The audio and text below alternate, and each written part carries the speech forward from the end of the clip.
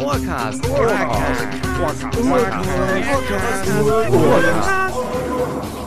Der monatliche Hörspiel-Podcast von und mit Olaf von der Heid und Martin Stelzle. Bist du hast schon? Ich habe schon, ja, du darfst. Ja, also, ja ich wollte, nur noch äh, kurz den Hinweis geben, dass wir ja heute möglichst äh, seriell auftreten müssen, weil sehr ernst. nee, Entschuldigung, äh, kariös. Kariös. Genau. Seriell ist ja das diese kommt das von kariert oder karies? Ich, ich weiß es nicht. Also. Kariant. Genau. hallo. Ja, ach so, ja, hallo, genau. Willkommen zu einem ganz speziellen Spezial-Ohrcast, den wir einmal im Jahr machen, weil es so schön Mhm. ist. Weil Weihnachten ist. War. Äh, War, genau. Ja, ihr habt den Titel schon gelesen, dann wisst ihr schon, um was es geht. Ja, wir blicken zurück auf 2021 und ihr, wie wir, haben uns Gedanken gemacht, wer denn Hörspiel des Jahres werden könnte. Und es gibt tatsächlich einen Gewinner und der ist.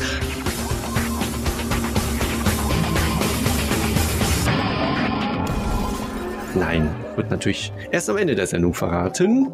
Vorher Ja. sprechen wir doch einfach mal ein bisschen über 2021. Was war denn so hörspielmäßig so los? Was, was kommt dir als erstes in den Sinn, wenn du an das vergangene Hörspieljahr denkst? Jetzt abgesehen von deinen Top Ten.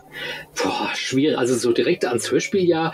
Ich glaube, es wahr wie jedes Jahr, dass es so die Knaller irgendwie lange auf sich warten lassen haben. Also es ist, äh, naja wohl, nee, ich habe ja so ein, zwei drin, die tatsächlich vorne im Jahr waren, aber so die ganz großen Knaller kamen wie immer so irgendwie am Ende, hatte ich so den Eindruck. Und das ist so, so ein Gefühl, das sich breit macht, weil äh, ich weiß noch, dass ich ähm, so im August, September, keine Ahnung wann, also da saß und dachte, naja, gibt ja so ein, zwei Highlights, aber so richtig das, wo man denkt, oder, oder so die, die Masse, so wie willst du denn jemals 10 oder sogar 25 äh, Hörspiele da aufschreiben? ähm, so die Knaller waren irgendwie nicht dabei. Und äh, also was mir im Jahr 2021 aufgefallen ist, dass so die Trends weitergehen, dass sich der, der kommerzielle Markt immer weiter ins, ja, ins Mainstreaming und ins, wie haben wir das immer gesagt, ins, ins Stangenwarige verwandelt und äh, da immer mehr anknüpft und das Radio so ein bisschen momentan, glaube ich, nicht weiß, wo es hin will. Das ist mir, glaube ich, im letzten Jahr auch so ein bisschen ähm, im Radiobereich aufgefallen, dass man so einerseits ähm, ganz große Erfolge mit, mit vielen Ideen feiert, zum Beispiel mit Kein Mucks als Podcast, was ja einen unheimlichen Run hatte, oder ähm, ja auch den, den Radiotatort oder verschiedene einzelne Projekte als Podcasts, die man dann veröffentlicht hat, aber andererseits auch ähm, irgendwie so merkwürdige Entscheidungen getroffen hat, wie so den Wegfall dieser sehr interessanten halbstündigen Schiene beim WDR, den man dann komplett und ersatzlos gestrichen Mhm. hat. Also da waren schon einige äh, Dinge drin, die so ja eher mich so ein bisschen negativ belastet haben und nur so ganz wenige tatsächlich, wo man dachte, ja, das ist aber doch mal was. Ja, partiell würde ich dir zustimmen. I, wobei ich ein bisschen einen positiveren Blick tatsächlich habe, ähm, was vor allem an einem Label liegt, nämlich an Contendo. Ja. Weil Contendo dieses, also auch das Jahr davor schon, aber gerade dieses Jahr tatsächlich für mich richtig fett abgerockt hat. Ich weiß nicht, wie ich das anders äh, Mhm. ausdrücken soll. Wenn ich noch äh, dran denke, was ich dafür Bedenken hatte, äh, als man hier mit den, äh, mit den drei Senioren um die Ecke kam und ich Mhm. dachte, was sind das für Knallchargen, Krempel jetzt hier? Und das so eine gute Serie wurde, dass ich mich mittlerweile da auf jede Folge freue und dann direkt danach mit Mord ist ihr Leben um die Ecke kam und auch gedacht habe, ja, das ist halt jetzt so ein, so ein Abklatsch hier von, äh, von Mord ist ihr Hobby. Und auch da tatsächlich dann, finde ich, fast nochmal was draufgesetzt wurde, was den Unterhaltungswert anbelangt. Und dann natürlich die Midnight Tales, die immer noch äh, sensationell weiterlaufen. Jetzt nicht jede Folge, die sensationell ist, aber allein dieses Serienkonzept und diese Konstanz, ich weiß nicht, wie viele Folgen man da rausgebracht hat. Mhm. Und das ist so irre, dass ich nur zu, zutiefst meinen Hut tatsächlich da mal ziehen möchte, was Contendo anbelangt. Dann ein Name, der mir auch sehr aufgefallen ist 2021, auch 2020 schon, aber äh, Tommy Krabweis. Ja. Also was, was der rausgehauen hat, allein an, an Menge von Hörspielen schon mal erstmal mal. Dann kam äh, Lodge Matterham, was uns ja beiden gut gefallen hat. Und die zweite Staffel von Kohlraben Schwarz, die wirklich super war. Genau. Dann äh, Robert Weber möchte ich auch nochmal rausgreifen, der auch äh, ein gutes Jahr hatte, der, der zwei Sachen rausgebracht hat äh, dieses Jahr, was bei Robert Weber jetzt auch nicht. Äh, Robert Weber hatte normalerweise immer ein so ein großes Ding, oder? Mhm. Wenn, ich, wenn ich das richtig genau, sehe. Ja, ja. Ne, dann war es, es waren ja zwei Sachen mit dem wirklich großartigen Djatlov-Massaker. Das ist, da ist mein erster Shoutout, so wie das getan hat, äh, bei mir nicht in den Top Ten gelandet ist. Ja, äh, so viel kann ich auch schon mal spoilern. Müssen, aber, ja. Ich habe es auch nur hm. als Shoutout drauf, tatsächlich, ja. Äh, leider auch das zweite, also auch ähm, Golgatha, ja. Golgatha ähm, mhm. hat es knapp, also war, war so im äh, dem Bereich, wo ich dachte, ja, müsste eigentlich rein, aber dann habe ich mich dann doch äh, für zehn andere entschieden. Es ging also, mir auch so, also äh, eigentlich äh, rein gefühlsmäßig hätte es locker drin landen müssen, aber mhm. ja, also wenn es dann wirklich an, ans Streichen geht, ist das, das ist echt so also gemein. Also Tjatlow war auch in der, also war vielleicht nicht, also er hatte ein bisschen tiefer als Golgatha, aber auch schon. Echt? Bei mir war es äh, anders. Ja. Okay. Weil Tjatlow ähm, irgendwie nochmal noch mal durchgeknallter war und noch, noch sich noch mehr getraut hat mhm. von der Erzählstruktur her, fand ich. Ja, den wollte ich rausgreifen. Dann kein Mucks, äh, an, an kein Mucks kann man nicht vorbeikommen. Mhm. Das ist, das ist so sensationell, was Bastian Pastewka da macht. Mit dieser Konstanz über das ganze Jahr über, das immer unterhaltsam ist. Das kannst du immer anhören. Ja, stimmt. Selbst wenn das Hörspiel mal nicht, nicht ganz so top ist, ähm, allein das, was er dann drumherum bastelt, ist äh, so unterhaltsam, informativ. Diese ja, unterhaltsame Mixtur, die er da einfach fast schon erfunden hat, mhm. würde ich jetzt mal fast sagen.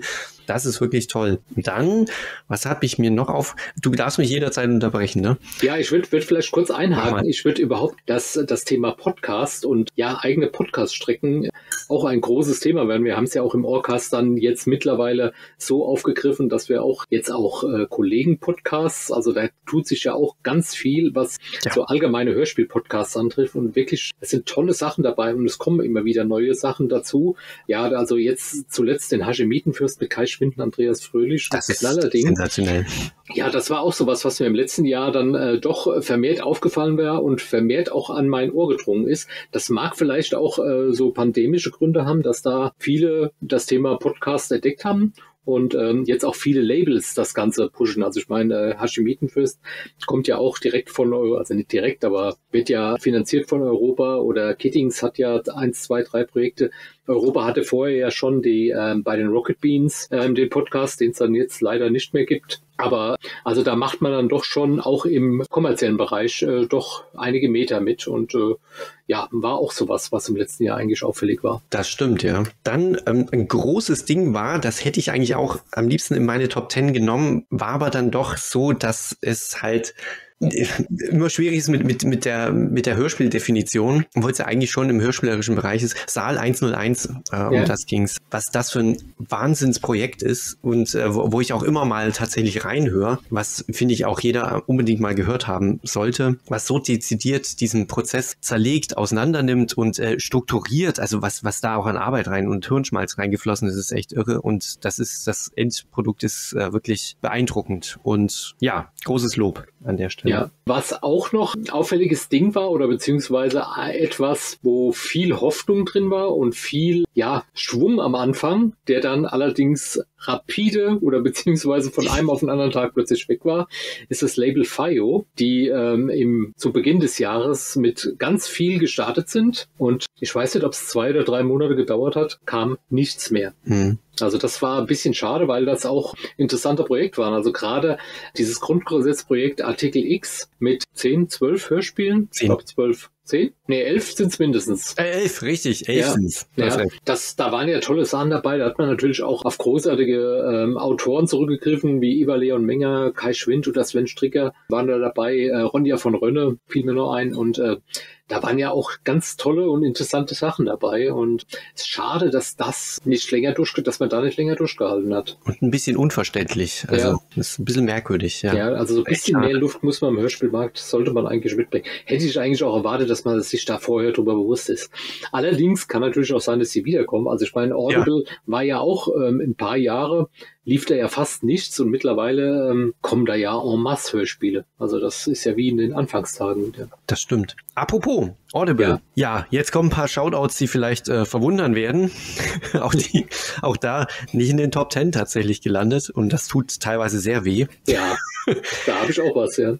Oh ja, der Schwarze Berg zum Beispiel hat es bei mir nicht geschafft. Äh, fand ich sehr überraschend. War ein tolles Ding. Ähm, nicht top, top, top, top, top, top, oberste Spitze, aber ähm, das hat wirklich so viel, das, das war auch so was, hm, was so ein bisschen so nach neu gerochen hat mhm. und so ein bisschen innovativ gerochen hat und ähm, sich angehört hat. Auch da irgendwie, man hat sich so ein bisschen was zugetraut und so ein bisschen abseits und ja, ist ein schönes Ding. Freue ich mich, wenn es da auch mehr von gibt. Dann Sandman, um Himmels Willen, Sandman, was ist das für ein Riesending, was den Nicht-Sandman-Leser wie mich tatsächlich auch erstmal überfordert hat, muss ich ganz ehrlich sagen. Diese, diese Gewalt, diese Gewalt an Geschichte und Geschichten und Verästelungen von dieser großen Geschichte, dieses ganze Universum, was sich da aufspannt und da wird man halt erstmal von erschlagen. Und je mehr man sich hineinbegibt, umso ah, toller ist das tatsächlich. Und äh, ich habe jetzt frisch Teil 2 gehört, äh, die zweite Staffel. Und das ist einfach, das ist wirklich irre. Mhm. Aber auch da nicht ganz geschafft. Ja, und dann noch, möchte ich noch zwei zweite Teile nennen. Das eine mit einem sehr weinenden Auge, tatsächlich das Imperium, weil es mhm. nicht mehr weitergeführt wird. Was Imperator. Äh, Imperium, danke. Imperium ist Imperium kracht.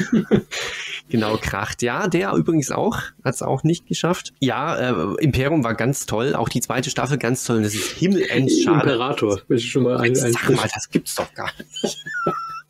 Meine Fresse. Ja, genau. Und ähm, noch eine zweite Staffel, die Sieben Siegel. Ja. Ich Oller Meckerfritze. Auch da ganz tolle Hörspielunterhaltung. Bombiges Hörspiel, aber nicht in meinen Top Ten. Hm, bei mir auch nicht. Bei mir hat es auch, auch ganz anders. knapp äh, Kohlraben Schwarz nicht geschafft. Auch die hätte ich in den äh, Top 15 gehabt, aber das war auch so dann eine, von dem ich mich dann leider verabschieden musste. Yep. Ja. Ebenfalls. Ja. ja, die wollte ich auch noch genannt haben. Ich würde auch noch mal auf das Radiohörspiel gerne verweisen, denn es gab da einige Sachen, die ja. mich dann doch überrascht haben, die ganz toll waren, aber dann halt auch letztlich, es gibt halt nur zehn Plätze ganz vorne. Zum Beispiel der Ausbruch äh, von Jutta Profiet Produktion des MDR. Sehr unterhaltsam, sehr lustige Story, gerade in der Corona-Zeit. Äh, toll erlebt. Der Verein von Thomas von Steinecker. Ja, also toll. zum Jahresbeginn ein ganz tolles Stück über Fußball, was ja total gut und äh, ja glaubwürdig erzählt wurde. Also fand ich großartig. Und weißt du was? Ich gucke gerade Ted Lasso ja. und fühle mich sehr oft an, äh, äh, muss ich sehr oft an der Verein tatsächlich zurückdenken. Okay. Ja. ja, äh, auch ein großartiges Stück war die Königin von Langwitz, weil äh, man oh, ja. es hier schafft, ein Hörspiel äh, fast nur mit Frauen zu erzählen. Das äh, fand ich dann auch äh, großartig und es war dann noch total unterhaltsam und äh, witzig und ja, das hat tatsächlich gesprüht, das Stück, aber ja, hm, leider, wie gesagt, es waren nur zehn Plätze. Mhm. Ganz andere Richtung, Freinacht von Thomas Lang vom BR, was ich auch jedem empfehlen möchte. Sehr originell erzählt, ein ganz tolles und ähm, sehr anrührendes Stück mit einer tollen äh, Story, mit einem originellen Twist am Ende auch noch. Also auch das wäre was gewesen, was äh, eigentlich ja was weiter vorne verdient hätte. Aber ja. Hm. Mhm. Auch der Maler, der, äh, der Rote ja. Ripper, fand ich fantastisch. Ein ganz tolles Ding, tatsächlich auch. Ja. Aber auch da. Hahnkampf in Quizzo wollte ich noch genannt haben, mhm. das mich auch sehr begeistert hat, tatsächlich. Und jetzt muss ich drei nennen, da wirst du jetzt dreimal zusammenzucken wahrscheinlich. Zucken, ja. Karlmann. Karlmann habe ich leider auch in den Shoutouts nur drin. Echt? Okay. Ja. ja. Das war knapp, war sehr, sehr knapp. Ja. ja, ganz tolles Ding aus Island, auch so ganz kalt erwischt tatsächlich. Ich, ich, hätte noch einen, der so ganz, ganz dicht, also den ich Lass auch, glaube ich, bis zum Schluss in den Top Ten hatte. Lass mich raten. Ja. Mönche? Nein. Nein. Miss Terry? Ja. Miss Terry, okay. Also das war tatsächlich der letzte, wo, von dem ich mich, also wo ich dann am meisten noch gezögert hatte und äh, zwei, ja, entweder das eine oder das andere und leider ist, hat's Miss Terry, hat's erwischt. Mhm. Uh, Once a Beauty. War gut, leider ja. auch was, was ich äh, streichen musste. Genau wie Schöpfer vom Leben von Stuart Kummer. Auch das hätte, hätte ähm, mehr verdient gehabt. Das hm. hat mich auch sehr, sehr gut unterhalten. Ja, einen möchte ich noch genannt haben, der es mhm. bei mir dann letztlich auch nicht geschafft, obwohl das höchst verdient hätte, und zwar mit zwei Sachen gleich. Äh, Oliver Dörings fantastische Geschichten. Mhm. Ähm, und zwar Armageddon war atemberaubend, toll mhm. und merkwürdig erzählt und da kriege ich heute noch Schauer, wenn ich dran denke. Und der, der todbringende Stern, ja. das auch äh, fantastisch war. Und so eine, ähm, habe ich auch selten erlebt, so eine realistische Vorstellung vom, vom Weltende geliefert hat. Boah, auch da äh, Gänsehaut. Mhm. So, eine Radioperle habe ich noch vergessen. Antikammer. Oh, okay ja. wollte ich noch genannt haben, ist bei mir auch nicht drin gelandet, hätte es eigentlich auch locker verdient gehabt. Hm. Ja. Ich hätte auch noch, ich hätte sogar noch drei Radio, Moment, ich muss mal gerade gucken. Ja, ähm, ich hätte noch äh, Katschekop und Co. Mhm. Ähm, das fand ich, also gut, ist jetzt, sagen wir mal, weit weg von dem, was in den Top Ten, also das ist jetzt nicht kein Hörspiel des Jahres, aber es war ein sehr schöner und unterhaltsamer, bunter Tupfer. Ähm, von sowas hätte ich gerne auch mehr. Einfach mal so ein Hörspiel, wo man sich einfach mal 50 Minuten reinlegen kann und kann. Das fand ich echt, echt schön. Dichter an den Top Ten war tatsächlich Stadtland Fluss oder die Konstruktion der Liebe von Lisa Sommerfeld. Das wäre auch sowas gewesen, mhm. was äh, es verdient hätte. Und wo die Freiheit wächst von Frank Maria Maria oh, Reifenberg. Richtig, hatte ich auch ganz, hier auf dem Schirm. Ganz ja. tolles Stück. Ähm, und ähm, nochmal zu Katschekop, was ähnlich in die Richtung geht. Ähm, sehr unterhaltsames und lustiges Hörspiel ist. Vielen Dank für Ihr Verständnis von Fritz Erkenger. Was auch sehr, sehr klar. Also allein äh, der Hubschrauber, das müsste, denn deswegen muss man es mal gehört haben. Also gönnt euch das noch. Ich glaube, es ist noch im Hörspielspeicher verfügbar. Ja, wenn ihr mal eine, eine schöne Stunde braucht, eine schöne ruhige Stunde, das ist dann was, ja. Tolles Ding, das stimmt. Ja. So. Ja, Moment, ich, hätte, ich gucke doch mal meine Liste mit den Shoutouts. Ich glaube, ich habe noch so ein bisschen was äh, drauf. Ähm, also äh, so ein paar Standards, äh, die eigentlich immer gut sind, wie das Kabinett. Zum Beispiel mit Das Tote Brücke oder der Student von Prag. Die haben es mir angetan. Bei den Radiotatorten sollte man auch einmal den letzten Trischler natürlich erwähnt haben. Oh man, natürlich, ja. Starkes Stück, wie immer vom SRF. Wird nicht jedem gefallen, aber wie gesagt, diese Trilogie die fand ich schon sehr klasse, weil man sich da auch tatsächlich mal was im Radio getraut hat. Und das gleich zu Beginn. Also das finde ich schon, da ziehe ich immer noch alle Hüte vorm SRF, dass man sowas äh, dann doch angeht. Und was mir gut gefallen hat, war das Hörspiel Sonntag von Tom Peugert in der Reihe ja, wo man das Ganze nochmal neu gedacht hat und äh, neu erzählt hat, also beziehungsweise da eine neue Figur etabliert hat, die tatsächlich mit dem ersten Fall auch ein richtig gutes Stück abgeliefert hat. Ja, ja, ja jetzt bin ich aber tatsächlich durch. Nee, eins habe ich noch tatsächlich. Sorry. Grauen, den Podcast. Den hätte ich ja, eigentlich eben schon erwähnen sollen. Da äh, ist, das ist natürlich auch was, was man äh, gehört haben sollte, weil es da immer wieder Muss. richtig grandiose Folgen gibt. Also gerade das Staffelende der ersten Staffel, Folge 12, Hotel Limbus, fand ich großartig. Sensationell gut. Oder auch den Nachtzug, quasi die zweite Folge der zweiten Staffel. Ja, Hammer. Aber wieder eine Zugfolge, klar muss die gut sein. Weißt du was, da haben wir jetzt einen schönen Anker tatsächlich. Echt? Ja? Mhm. ja. Okay. Dann steigen wir doch in unsere Top 10 ein. In, ah. Ich fange an. Ich, lass mich raten, da kommt irgendwas hinein. So, dann fang, ja. fang mal mit deiner 10 an. Smells like, like Nirvana. Ähm, mhm. Ja, äh, Hotel Limbus tatsächlich. Okay. Grauen.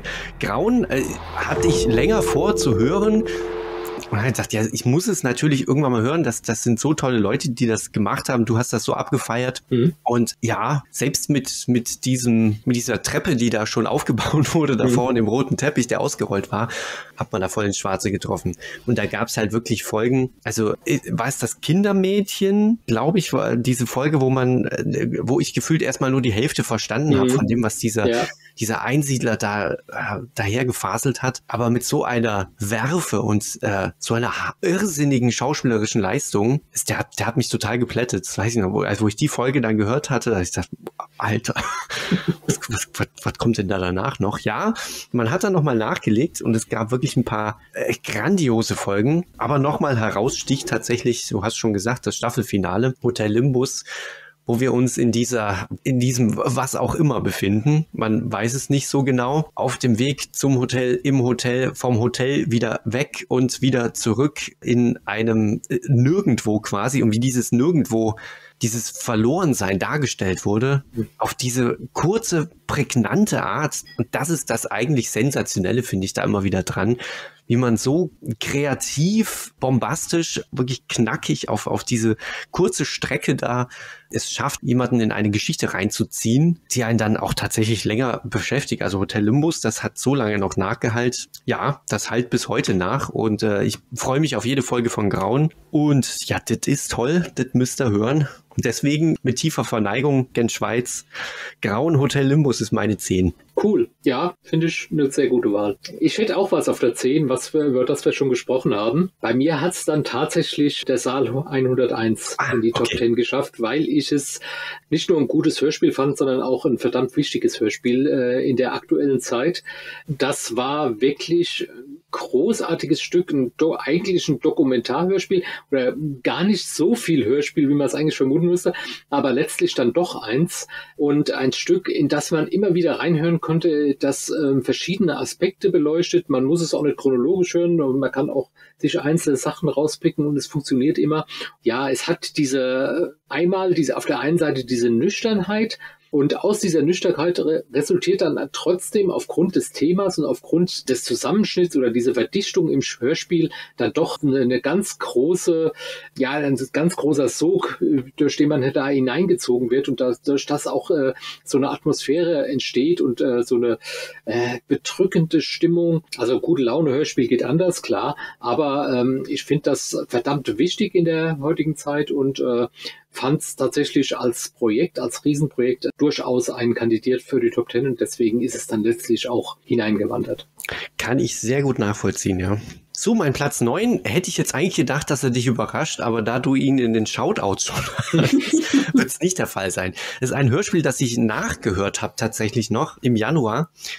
Und zwar ein MDR-Hörspiel und zwar Utah Profits der Ausbruch. Okay. Was mir cool. so gut gefallen hat es ist letztlich dann kein Wunder, wenn man liest, dass äh, Regie Donja Nassus zum Beispiel geführt mhm. hat, ähm, dass das, ja, das so ein total, ja. lebendiges, überbordend lebendiges, humorvolles und trotzdem tiefer, tiefer gehendes äh, Hörspiel ist das eine ganz wundervoll skurrile Geschichte erzählt von einem, ja, Ausbrecher, der aus dem Gefängnis rauskommt, äh, vorher quasi nichts mit der Pandemie zu tun hatte und dann in dieses pandemiegeschüttelte Deutschland äh, reingespült wird und hier überhaupt nicht klarkommt. und man selber dann durch ihn quasi konfrontiert wird mit dieser völlig bekloppten Welt, in der man eigentlich aktuell lebt. Und ich denke, äh, ja, stimmt, das ist wenn man jetzt quasi so ein zwei Jahre zurückspult, das ist schon, da hat sich schon einiges verändert. Mhm. Und das fand ich so einen tollen, schönen Blick, ohne eben, ohne das Ganze zu überladen mit, ja, mit, mit, mit, mit all dem ah, Impfgegnerkrempel und was man da halt alles noch mit reinpacken könnte. Das spielt zwar unterschwellig dann schon natürlich eine Rolle, aber vordergründig ist es halt diese wundervolle Figur des Myrtles, der halt ja seine Oma besuchen will und eigentlich ja nur die Beute abholen will und das halt alles nicht nicht so ganz funktioniert. Also ein ganz wundervolles Stück, das mir so viel gute Laune ins Gesicht gezaubert hat und mich halt gleichzeitig dann auch mit dieser Welt nochmal konfrontiert hat, äh, in die wir ja so geschippert sind und das war ein ganz tolles Stück. Deswegen von mir die Nummer 9 für den Ausbruch. Ja, kann ich vollkommen nachvollziehen. Tatsächlich so eines der wenigen Stücke, was sich so auf unterhaltsame Weise mit der Pandemie beschäftigt. Also wer ja. fiel da auch nur die Cayman Grub an? Sonst war, war irgendwie, war das, wenn überhaupt, äh, wurde das gerne mal so als verkünstelnd und überernstes Thema. Und das aber auch selten. Aber so richtig, mhm. wo man sagt, äh, man nimmt das Ganze jetzt mal, ja, von der humorigen Seite, das war dann eher Fehlanzeige. Und das äh, ist hier tatsächlich äh, sehr, sehr gut gelungen. Fand mhm. ich auch, ja. Ja, bei mir auf der neuen ist auch was eher Unterhaltsames, eher Lustiges, aber zugleich mit ähm, ja viel Ernsthaftem im Hintergrund und dann noch ein Krimi dabei. Da es bei dir in den Shoutouts nicht aufgetaucht ist, denke ich mal, ähm, wird es bei dir auch in den Top Ten sein. und äh, auch bei unseren Hörern ist es ja in der Top Ten gelandet. Also von daher erzähle ich ja nicht allzu viel Neues, wenn ich euch sage, dass bei mir der Sörensen am Ende der Welt auf der neuen gelandet ist. Tolles Stück, fand ich ja. total. Äh, äh, total super. Es ist äh, Sörensen, die haben mir alle drei äh, bisher richtig gut gefallen. Die Atmosphäre, das äh, Topping mit der Hauptfigur, der quasi die Rolle auf den Leib geschrieben wurde, weil also ist genau das, was er natürlich perfekt spielen kann. Und dann noch äh, der Hintergrund, der dahinter steckt, also äh, eben die eigene Story von Sven Stricker, dass da auch das, die eigene Erfahrung mit einfließt in diese Figur. Also das fand ich schon beeindruckend und wie man das gelingt, so ganz ernste Themen, einen ganz soliden Krimi und noch sehr viel Unterhaltsames in so eine Story zu gießen. Also das fand ich schon beeindruckend, ja. Und deswegen habe ich das gerne in den Top Ten gehabt. Kann ich nachvollziehen. Ähm, hm. Wäre tatsächlich mein Shoutouts gelandet, ah, wenn okay. ich meine Schrift besser lesen könnte. Ich, so, ich, bin ja, äh, meine Frau weiß ein Lied davon zu singen, ich bin ein äh, Zettelfritze. Hm. Und ich schreibe immer möglichst kleine Zettel und schreibe die dann wirklich voll mit hinten vorne und dann oben am Rand noch ein bisschen und ach komm, hier ist noch ein kleiner Fleck. Ja, und da kommt dann sowas zustande. Ah, okay. Ich gelobe Besserung. Gut, das, das mache ich aber auch schon seit zehn Jahren. Ja, auf Platz 8 ist, glaube ich, eine Überraschung. Okay. Passend zu 8, 8, 8.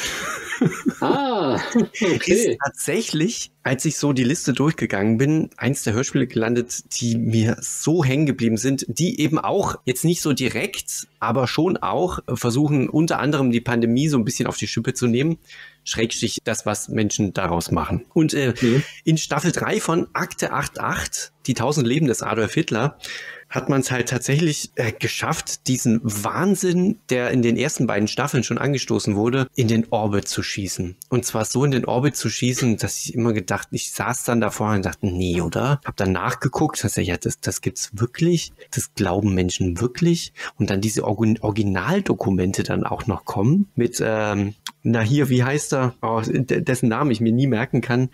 Der YouTube-Star. Ähm, Ach, die, ja, ich weiß, wen du meinst. Ah, komm, ich komme jetzt nicht drauf. Äh, Schrübel. Der, der, der, Ingenieur halt. Ne? Ja, ja. Was für bekloppte Menschen es gibt, Entschuldigung, die die Sachen glauben und sich zurechtspinnen, also die, diese Form von Auswüchsen einmal so deutlich vorgesetzt zu bekommen und ganz großartig ja äh, zerlegt zu bekommen. Also mhm. in einer Folge wird ja paar excellence eine Verschwörungstheorie zerlegt. Ja, fand ich Wie das gemacht wird, das ist so großartig, aber halt dann auch wie diesem Wahnsinn Platz gegeben wird, wo einem dann bewusst wird, welche Auswüchse das nimmt. Also meine Lieblingsfolge ist tatsächlich die, wo eine Figur erklärt, welche Rassen es im Universum gibt und wie mhm. die voneinander abstammen und in welchem Verhältnis die zueinander stehen und wo die Arier in, in dieser ganzen Hierarchie stehen und äh, wie, wie so die, die Abfolge war. Und ich davor denke, das, äh, das glaubt diese Person wirklich. Und das ist so absurd, mhm. sich, sich das vorzustellen, dass jemand sowas glauben kann.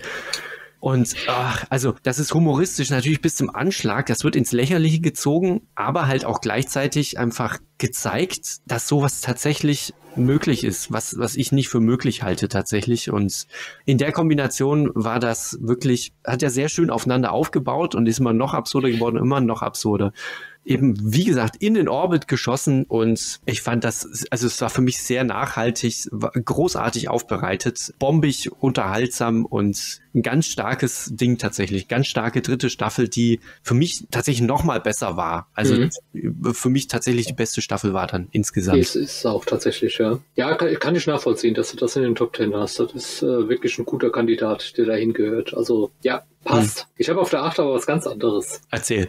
Auch aus dem Radio, aber eigentlich ein Krimi, der aber auch ein sehr aktuelles und ernstes Thema hat, was aber auch so ein bisschen, ähm, ich sag mal, nicht ganz vorne ist, aber eigentlich viel weiter nach vorne gehört, und zwar das Hörspiel Mönche. Beziehungsweise mhm. in dem Hörspiel Mönche geht es ja um Incels, also Männer, die von Frauen sich verstoßen fühlen und ja, so eine eigene toxische Männlichkeit um sich herum, also so eine toxische Welt aufbauen und dann eben auch zu Übergriffen neigen und die auch durchführen. Dieses Stück stellt das nicht nur anhand eines Krimis dar, sondern schafft es auch noch, einen richtig verwinkelten Plot zu schaffen, den man so, also gar nicht im Vorbeigehen hören kann. Das, wahrscheinlich muss man das ganze Stück, auch wenn man es aufmerksam lauscht, eher zweimal hören, weil so viel Wendungen und extreme Wendungen drin sind, dass es halt wirklich, ja, nicht nur unterhaltsam ist, sondern total überraschend überraschend und ja, mit einem Ende aufwarten kann, was sich wirklich gewaschen hat. Und also keine Figur stimmt da zu 100 Prozent über den ersten Eindruck. Und das ist, ähm, fand ich großartig, so als Überraschung des Jahres äh, im Radiobereich. Also ein Autor, von dem ich noch bewusst nichts mitbekommen habe. Ein Hörspiel, was nur so als, na, ist halt äh, unser Montagsabend Krimi-Hörspiel bei Deutschlandfunk Kultur, ohne großes Brimborium angekündigt wurde und plötzlich da war und tatsächlich ein saustarkes Stück war. Oh ja, das stimmt. Mhm. Das war auch sehr nachhaltig. Ja. Weiß ich auch noch genau, wo ich es gehört habe und mhm. wollte ich danach auch nichts mehr hören. Ja, kann ich nachvollziehen. Sehr gut sogar. Ja, ähnlich ging es mir mit meinem Platz 7, der eins der heftigsten Hörspiele ist, das ich jemals gehört habe. Das hat mir so ein bisschen den Boden unter den Füßen weggezogen. Ich spreche von einer NDR-Produktion Ines Bayars Charme. Mhm. Auch das kann äh, ich nachvollziehen. Äh, wo ich immer noch nicht so genau weiß, äh, ich weiß schon, was ich damit anfangen soll, ne? Und äh, was, mhm. was mir da gezeigt wurde, aber Oh, das war, das war so heftig. Letztlich geht es um eine Frau, die vergewaltigt wird und die Nachwirkungen dieser Vergewaltigung lassen diesen Mensch komplett zerbrechen. Und ähm, wir sind Zeuge, wie diese Frau quasi nach und nach zerbricht an dieser Erfahrung also da, da sind so heftig, also ähm, jetzt nicht plastisch heftige Szenen, aber so emotional so unglaublich heftige Szenen drin. Mhm. Das, ach, das halten mir auch immer noch so nach und ähm, der Umgang mit dem Kind und ja, ähm, also für das Ding braucht ihr echt starke Nerven, aber ihr werdet dann ähm, in, in absoluten Tüttelchen be belohnt mit einem aberwitzig guten Hörspiel, das so emotional an die Nieren geht, wie, mhm. also wie selten bei mir was. Und ja, auch wenn das Thema jetzt heftig ist und so, aber das äh, finde ich, sollte man sich auch mal geben, muss man wahrscheinlich, man muss sich auch mit so, mit solchen Sachen mal konfrontieren und wenn dann so in der Form und das war, das ist ganz groß. Ja, beeindruckend, ja. Fand ich, fand ich auch. Also das ist äh, tatsächlich ein Stück, was mich auch sehr, sehr nachhaltig äh, beeinflusst hat, weil das auch so gar nicht äh, oder es ist selten diese Perspektive ein Thema ist, sondern immer nur so am Rande gekratzt wird, halt um äh, eben was anderes zu erzählen. Und ja. hier ähm, hat man wirklich schon den quasi den reinen, unverfälschten Opferblick. Und du bist da so nah dran. Ja. Oh, du, bist, du, bist, so nah dran einfach. Ja, ist, Charme oh. ist, äh, also das äh, Hörspiel bitte nicht verwechseln mit ähm, Die Charme La Honte. Die Charme La Honte kam auch dieses Jahr raus, war für mich mhm. eine der größten Enttäuschungen in diesem Jahr. Aber Charme von Ines Bayard beim NDR unbedingt. Mhm. Ja, großartiges Stück. Ja, bei mir auf der 7 ist was, auch wieder Radio, sogar auch vom NDR, was aber auch im Handel mittlerweile erhältlich ist, und zwar John Steinbecks Jenseits von Eden. Fand mhm. ich als große Produktion total spannend erzählt. Ähm, hätte ich nie gedacht, ich habe irgendwann mal das, das Buch angefangen, habe es äh, genervt weggelegt, weil ich irgendwie ging das äh, vom Stil nicht an mich, aber dieses Hörspiel, das hat mich tatsächlich geflasht und hat mich tatsächlich in eine Welt entführt, die mir eigentlich überhaupt nicht liegt. Also das fand ich, äh, also das Setting ist, ist nicht meins, also so diese, dieses Amerika der, der Gründerzeit, hm, schwierig, eigentlich nicht so mein, äh, nicht Gründerzeit, bisschen später, wie, ich weiß nicht, wie nennt man das? ist das eine Industrialisierung? Also äh, den, ja, so in den Dreh, ihr wisst schon. Und äh, dann dieser christliche Hintergedanke, den das, äh, das Ganze hat, was man ja schon am, am Titel erkennen kann, fand ich, ist eigentlich nicht so meins, aber tatsächlich in dieser Mischung und wie es erzählt wurde, fand ich das tatsächlich sehr beeindruckend, sehr stark erzählt und äh, ja, war so das so eins der Highlights im Frühjahr letzten Jahres tatsächlich. Und ähm, ja, also das mochte ich gerne und äh, ja, habe es gerne in meine Top Ten aufgenommen. Mhm. Mhm. Okay das, für die äh, ehemaligen Hörer von uns wissen jetzt, das war ein Spoiler. ja, genau. Hat man, hat man meine hat man noch gar nicht gehört, gell? Bin ganz Dein Spoiler. Mein Spoiler. Das ja. ist besser versteckt. Ja. ja, dann kommen wir zu Platz 6 sind wir, ne? Ja. Ja. Da ist ein dritter Teil einer fantastischen und Abschluss einer fantastischen, wirklich äh, ganz unglaublich kreativen, modern erzählten Geschichte gelandet, deren dritter Teil mich sehr erstaunt hat, muss ich sagen. Und vor allem hat mich ich sehr... Weiß es. Ich weiß es. Ja, Iva Leon Mengers Ghostbox. Die dritte Staffel, die wirklich fantastisch war. Unter anderem, weil ich mir nach der Staffel 2 nicht so wirklich vorstellen konnte, in welche Richtung das jetzt weitergeht, schrägstrich, wie, wie man das jetzt irgendwie rappen kann. also wie man da noch irgendwie die Kurve kriegt, um das alles unter einen Hut zu bekommen. Und tata, Iva Leon Menger, schüttel das mal aus dem Ärmel. Ja, das wahrscheinlich nicht, das war schon dicke Arbeit. Und das ist wirklich fantastisch. Als eine Hammergeschichte, die einen sehr würdigen, tollen Schluss bekommen hat, wo man eigentlich, das ist auch großartig, ähm, an, an, einem Punkt schon denkt, jetzt, das war's jetzt und äh, dann nochmal was nachgeliefert wird ganz großartig. Sehr überraschend auch, aus welcher Ecke dann was nochmal äh, beigemengt, beigemengt, beigemengt wird. Also überraschend, kreativ, überbordend, toll, modern erzählt, spitzmäßig inszeniert. Da braucht man sich nie Gedanken machen. Ja, das hat mich sehr geflasht. Dem habe ich unglaublich gerne zugehört. Und da hat's was auch selten passiert, sehr, sehr, sehr oft Bing, Bing, Bing, Bing, Bing gemacht in meinem Kopf. Weil ich tatsächlich, das ist auch eher unüblich, obwohl es mir nicht bewusst war, alles noch irgendwie im Kopf hatte von den ersten beiden Staffeln. Beim Hören habe ich das dann gemerkt, ach ja, ach, das, das, das, das, ne? Aha. Also da war alles noch da. Das heißt, das, was vorher passiert ist, war auch so gut, hat so einen Eindruck hinterlassen bei mir, dass ich das alles noch präsent hatte. Und umso schöner ist das dann, wenn das dann alles zusammengeht, auch Sachen, wo man erst denkt, ja, hä? Ja, auch das passt dazu und ganz, ganz toll. Tiefste Verneigung, Iva Leo Menger. Ganz toll, wirklich ein super Abschluss und das, also Ghostbox muss man gehört haben. Ja, stimmt. Stimmt. Ich weiß nicht, ob ich jetzt machen soll oder ähm, ob ich jetzt einfach mal das offen lasse, ob das bei mir überhaupt in die Top Ten gekommen ist. Hm. Und, ich, und ich cleverle das einfach vielleicht eben bei den Shoutouts außen vor gelassen habe. Hm, weil du gedacht hm. hast, dass ich das ja eh nenne. Hm. Ja, weil äh, du hast ja die Audible-Sachen vorgelesen und da ist mir aufgefallen, dass der Ghostbox gar nicht erwähnt wurde. Und ja, ja vielleicht. Ja, da bleibt das ja jetzt noch spannend, ob ich das noch, äh, ob das noch in den verbleibenden sechs Plätzen bei mir noch drin ist. Hm. Oder vielleicht auch nicht. Mal gucken. Hm. Ich habe auf der sechs jedenfalls was anderes. Was vom NDR mal wieder. das ist schon, schon merkwürdig. Ja, doch, aber NDR hat ja auch was ganz Starkes vorgelegt, was mich total begeistert hat, weil es kunterbunt war, es war lustig, es war vor allem, Achtung, queer und jetzt ist eigentlich schon klar, was es war. Ah. Anton und Pepe, die erste Staffel ähm, von Axel Ranisch und Paul Zacher das hat mich wirklich sehr, sehr begeistert. Die erste Folge gab es ja schon mal vor drei Jahren, also mittlerweile vier Jahren als Einzelhörspiel.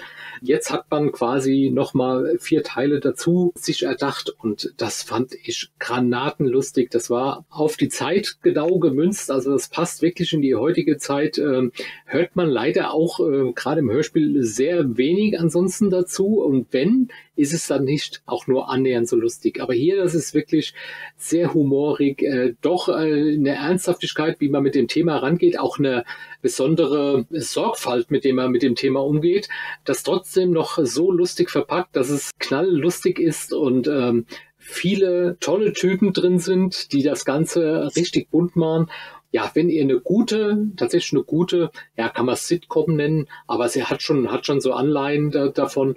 Wenn ihr sowas mal hören wollt, dann gönnt euch das. Wirklich sehr, sehr gut geschrieben, gut inszeniert und äh, ja, zuletzt hackenlustig. Hm, du und der NDR, ne? Hm, ja, ihr seid so. Ja, das ist doch noch nicht das Ende der Fahnenstange, würde ich mal sagen. Ist noch nicht das Ende der Fahnenstange Nein. Ja, okay. Nein. Interessant, da bin ich aber gespannt. Ja. Hm. Ja, wo sind wir? Fünf, ne? Mhm. Auf Platz 5 ist da wird es, äh, um nochmal äh, kurz dazwischen zu grätschen, so eng, dass, dass es da tatsächlich irgendwie ja. jetzt, jetzt nicht gewürfelt ist, aber schwierig ist. ja, ich habe also so da, da würde ich bei mir auch sagen, also bis auf 1 und 2 und 3, also so, so, so 4 bis, ja, eigentlich 4 bis 10 ist bei mir auch relativ austauschbar. Hm. Deswegen, auf Platz 5 ist gelandet Cayman Club, die dritte Staffel, die unglaublich fies war. Mhm. So fies, äh, wie ich selten Hörspiel erlebt habe, wo ich dann danach da gesessen habe und äh, ich habe es euch ja schon erzählt. gesagt habe, das könnt ihr nicht machen, das geht nicht. Du kannst doch, das, also echt, das kannst du doch nicht machen. Ähm, kurz, ein bisschen kurz, kurz Spoiler, doch, haben sie. Haben sie, ja. Haben sie gemacht. Einfach. Das ist schon, das ist schon echt krass. Also mhm. man verbringt ja mit dieser Hauptfigur doch äh, zwei Staffeln mhm. und das kommt einem ja dann schon so ein bisschen nah, auch wenn die Figur jetzt vielleicht nicht immer die netteste ist und aber man nimmt es dann so hin und denkt, ja, das ist halt einfach ein sau cleverer Kerl und na, irgendwie sympathisch ist er ja schon in irgendeiner Form. Und dann, dann kann man doch nicht so was machen. Aber letztlich, wenn man dann von oben drauf guckt, ist das letztlich ja nur konsequent. Ja. Und das ist das Fiese an diesem Ding. Und ja, vielen Dank, Stuart Kummer und Edgar Lynchheit. Das war wirklich ganz groß, äh, hat immens ne, Spaß gemacht bis dahin. bis dahin, bis zu diesem Zeitpunkt zumindest. Und äh, sehr cool ist natürlich auch, dass da dann das nie direkt, auch danach nie direkt benannt wird. Mhm. Wird zwar angeklagt von jemandem dann am Ende, aber so direkt benannt wird das nicht. Und das auch, äh, das Ding sprüht vor tollen Ideen, wie das immer ist bei den beiden, ähm, wenn die eine Geschichte erzählen. Das ist bombig, bombig unterhaltsam. Aber eben nicht nur das, sondern hat halt auch so, geht halt so ein bisschen tiefer und ja, hat halt noch so mehrere Schichten drunter und ähm, äh, traut sich dann halt einfach mal sowas wie das, was sie sich getraut haben, was ich jetzt nicht äh, benennen will, weil dann euch der Spaß an dem Ganzen genommen wird. Ähm, wer, noch, wer das noch nicht gehört haben soll, also um Himmels Willen, hört das endlich an. Ja. Da gibt's kein Wenn und Aber. Unbedingt. Macht Tolles das. Hörspiel. Aber ich meine, äh, das hat ja anscheinend nicht nur uns gefallen, weil ja. auch äh, unsere Hörer haben es ja auch in die Top Ten gewählt gespielt und ja, also scheint ja nicht ganz falsch zu liegen. Nein. Ja. ja auf der 5 kann ich mir es jetzt einfach machen. Ich hatte lang keine äh, Produktion des NDR mehr drin und ähm, bei mir ist auf der 5 tatsächlich Ines Bayars Charme ah, okay. gelandet und äh, ja, brauchen wir jetzt nicht mehr viel zu sagen. Tolles Hörspiel. Äh, hört euch das an. Wenn es das müsst, könnte doch da sein. Ja, könnte doch verfügbar sein. Gönnt euch das mal. Das ist wirklich grandios. Ja. Tja. So, auf Platz 4 ist vielleicht eine kleine Überraschung. Mhm. Weiß ich nicht ist tatsächlich was von FIO gelandet. Und oh. zwar eine der Artikel X. Und ähm, da habe ich, ich hatte kurz überlegt, sind zwischen zwei? Nein. Dann ist es die zwei. Nein. Jetzt, jetzt muss ich mal kurz überlegen, war es doch die 10? Ist, das ist die Eierschecke. Ja, ist die 10. Ist die 10, ja. ja. Ja, Kai Schwinds Eierschecke. Ich hatte überlegt, weil, weil ich den Fahrstuhl auch großartig fand als mhm. Idee und in der Umsetzung so clever und, und toll erzählt und auch wenn man es geahnt hat, dann doch überraschend. Also hier mit dem Rauf- und Runterfahren mhm. und so großartig äh, von Sven Stricker, ne? Ja. ja. Und auch so ein paar andere Sachen noch da waren. Die erste Folge fand ich auch toll. Ja, aber die Eierstecke von Kai Schwind, das ist so eine fantastische Geschichte, die so toll erzählt wird, ähm, mit sehr viel ah, Hörspiel. also, obwohl es ja, obwohl es ja kein Hörspielbombast ist, ne? Also wir befinden uns quasi nur im, in der Wohnung einer älteren Frau, mhm. die eine Ausladung bekommt. Und anhand derer wird dann letztlich diese Geschichte erzählt, ihrer Vergangenheit, ihrer Ostvergangenheit und mit so viel, ähm, die, die so authentisch klingt. Also, dass man wirklich neben ihr sitzt, mhm. die so toll geschauspielert ist, das, das weiß ich nicht, das, das ging mir so nah. Und das liegt halt A, natürlich am, am Skript, weil das ja halt so authentisch rüberkommt, als, als ob das halt wirklich eins zu eins so passiert wäre. Und dann halt B noch durch die schauspielerische Leistung ähm, einem das so nahe geht, als ob man halt wirklich und, und akustisch halt so gemacht ist, dass man wirklich daneben sitzt und äh, dem äh, traurig dann zuhört, was, äh, was passiert, weil, weil man schon ahnt, in welche Richtung das gehen könnte. Ach, das ist, fand ich so faszinierend und fantastisch. Ja, das war eine sensationelle Hörspielstunde, muss ich sagen die mir richtig, richtig gut gefallen hat. Und äh, auch das ist etwas, finde ich, das muss man in 2021 einfach gehört haben. Ja, schatzehrlich. Bei mir hat es nur für die Shoutouts gereicht, weil in der Top 10 hat sich halt schon so viel gedrängelt, aber das wäre also, das wären so die drei Folgen gewesen. Also Eierschecke wäre auf jeden Fall mein äh, Favorit aus allen elf gewesen. Ich hätte halt noch den Fahrstuhl und auch den Grenzwert X von über Leo Minger mit drin gehabt. Ja, aber kann ich gut nachvollziehen, dass das bei dir in die Top 10 geraten ist. Also hm. das hat bei mir auch mitgekämpft. Ja, ich kann mir es äh, beim, wo sind wir, Platz 4, ne? Kann ich mir es relativ einfach machen, weil das hattest du schon erwähnt und ähm, ja, auch belobhudelt und dem kann ich mich dann jetzt einfach anschließen und erzähle euch einfach, dass auf meinem Platz 4 die Akte 88, die 1000 Ach, gegen des Adolf Hitler ist, die Staffel 3. Ja, okay, cool. Die habe ich auch ganz nach vorne, auch letztlich, weil es wie Faust aufs Auge zum letzten Jahr passt. Also diese ganze äh, Schwurbler-Stories, äh, die man natürlich auch schon in den ersten zwei Staffeln hatte, aber das war natürlich, hat natürlich aufs Jahr 2021 gepasst, wie Faust aufs Auge. Dann noch so toll erzählt und so wirklich mal auch so, so dicht beleuchtet. Also ich finde immer noch das Faszinierendste, wie man ähm, diese, diese Schwurbler-Theorie da auseinandergenommen hat und äh, das gezeigt hat, wie sowas funktioniert und wie sowas aufgebaut wird und äh, welche Kniffe da genutzt werden. Also das fand ich schon äh, sehr, sehr beeindruckend. Dann tolle Story, sehr viel Witz drin, ein Ende, was sich auch gewaschen hat, äh, was äh, ja doch schon ganz schön besonders war. Ja, von daher ist das auch gerne in meinen Top 10 reingewandert. War auch relativ schnell klar, dass das in den Top 10 ist. Cool. Mhm.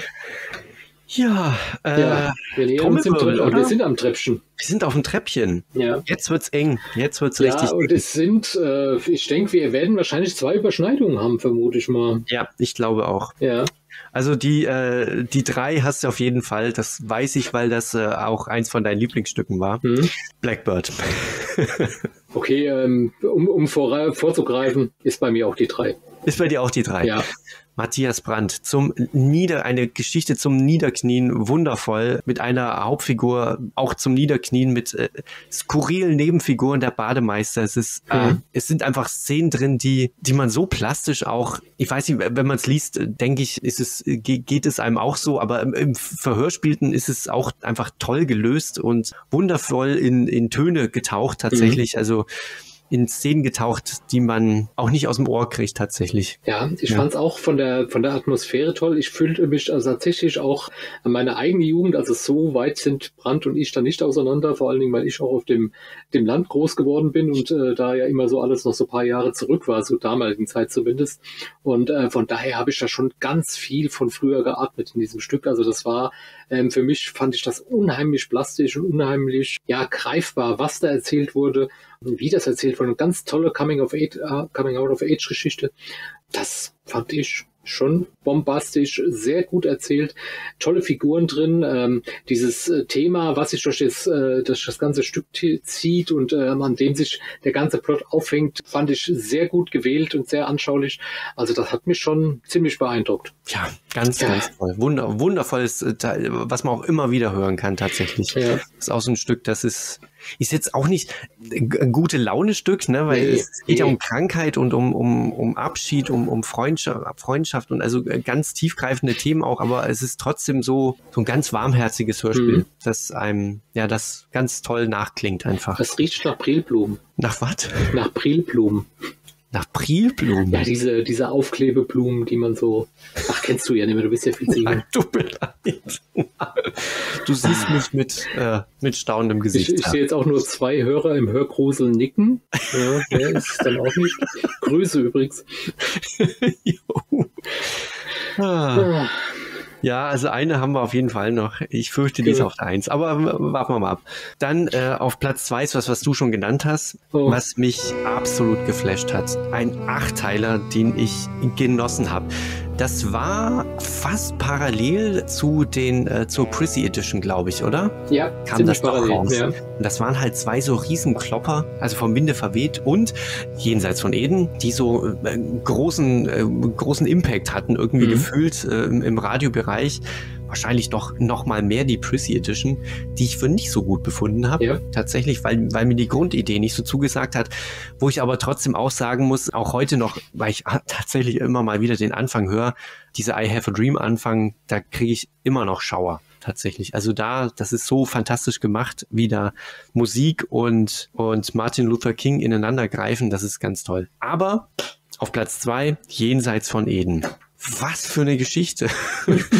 weiß auch nicht, was man da groß sagen soll. John Steinbeck, ja, ich habe das Buch immer noch nicht gelesen, würde ich aber gerne. Also diese Geschichte ist aberwitzig gut, tatsächlich. Also alleine wie das also, losgeht am Anfang, wie diese Landschaft beschrieben wird.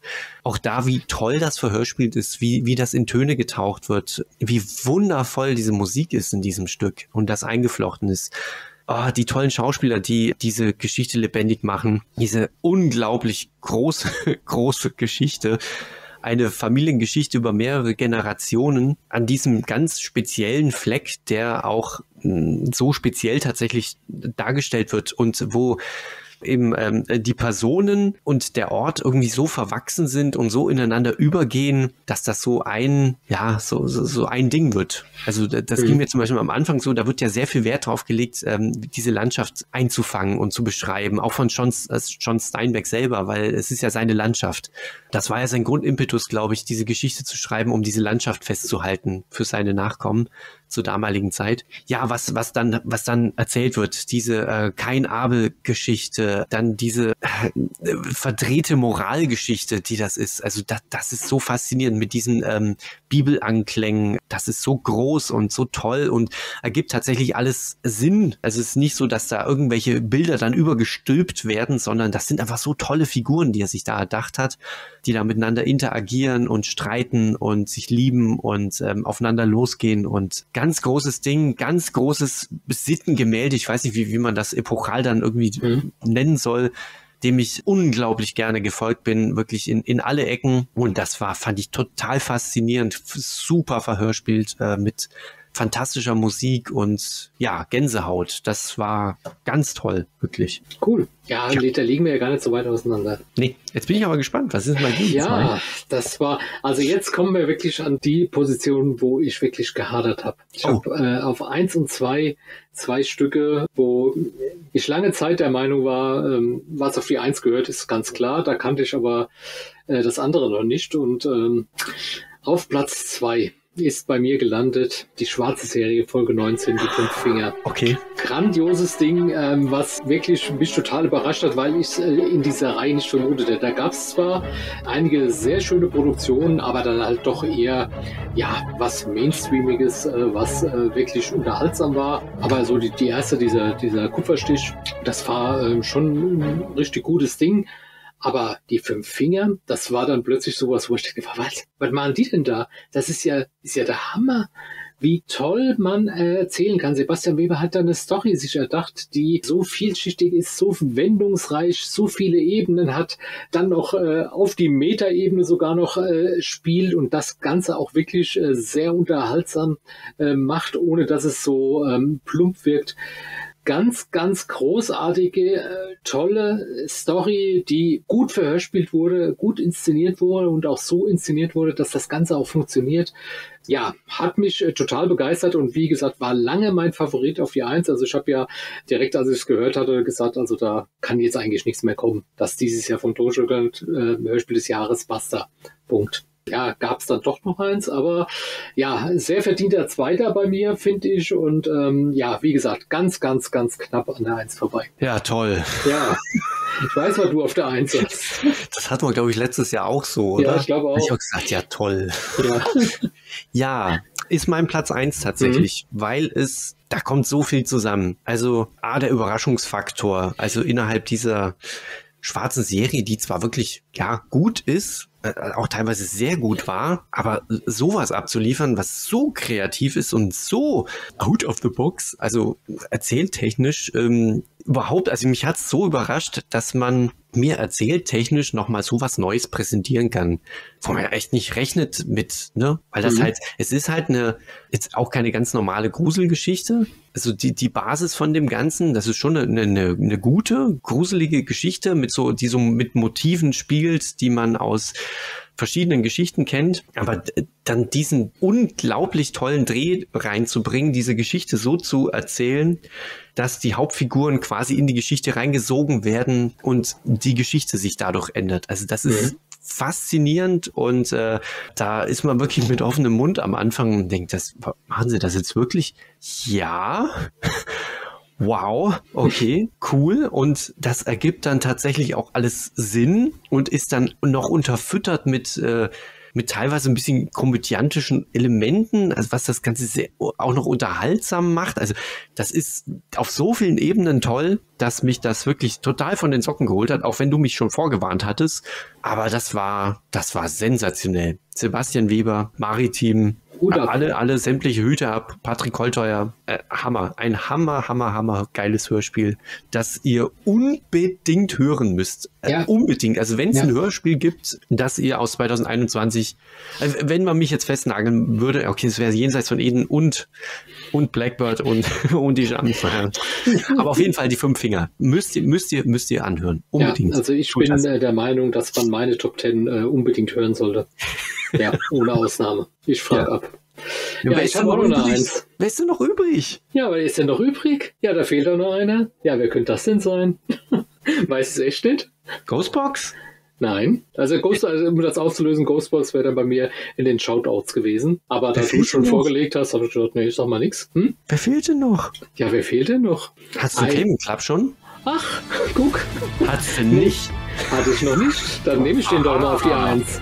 Ja, für mich, okay. äh, das war wirklich, äh, ich hatte es äh, tatsächlich relativ spät gehört, so um die Weihnachtszeit das drum. Es kam ja im November raus und es hat äh, tatsächlich bei mir lange geschmort, weil das halt irgendwie, ja, vier Hörspiele jetzt äh, so weghören, ja. Ähm, und ich wollte mir auch so einen besonderen Moment, wo ich dachte, jetzt habe ich mal die Zeit, das wirklich am Stück zu hören, weil ich ja schon ahnte, dass da wieder was Gutes auf mich zurollt und ähm, ja, es hat mich dann tatsächlich geflasht. Und ich glaube, den Punkt, den es bei dir hatte, äh, dass es nicht ganz nach vorne kam, das war für mich dieser Wow-Moment, wo ich dachte, hey, die trauen sich ja was, die trauen sich ja richtig was.